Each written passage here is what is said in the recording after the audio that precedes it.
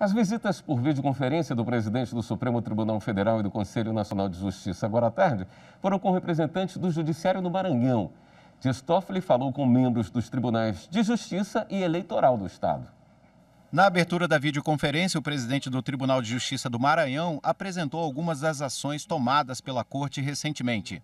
Esta semana inauguramos uma, um comitê de diversidade que teve uma receptividade muito boa, uma segunda vara de mulher contra a violência, Vamos instalar agora a vara do idosos, tudo nessa perspectiva de atender a população em todos os sentidos.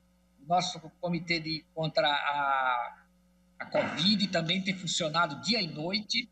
Nós não tivemos ainda nenhum caso fatal entre servidores, muitos foram acometidos de a Covid, mas nenhum caso fatal. Isso nos deixa confortável e corresponde ao nosso esforço que estamos fazendo para dar assistência a todos os servidores, magistrados e servidores.